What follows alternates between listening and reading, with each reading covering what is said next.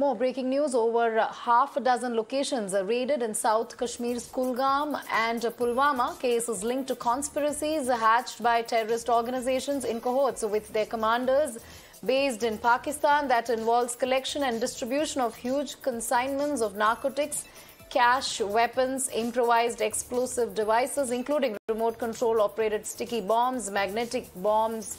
Case also pertains to conspiracy hatched by Pakistan based terror commandos. We have Yavar joining us. Yavar, big crackdown there in J&K. Take us through the details. Who are being raided and what is this case pertaining to?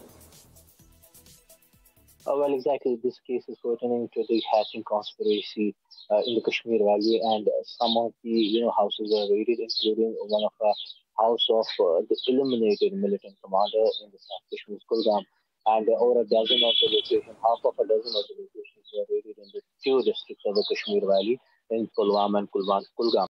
And if I remember that uh, uh, over the past few days, there has been a continuous crackdown by the uh, NIA and SIA against uh, the you know terror funded incidents, uh, NGO fundings, and also some other terror related incidents. Now, this is an FIR that's already registered with the NIA police station Jammu in the year 2022. Following this, this case has been taken up, and we have been told uh, that there could be some seizure uh, and officials are going to come up with a visual shortly from now. Uh, but remember uh, that there has been a mega crackdown by the central agency against hacking conspiracy in the Kashmir Valley. All right, we'll leave it at that. Thank you for bringing all those details on NIA raids underway in J&K.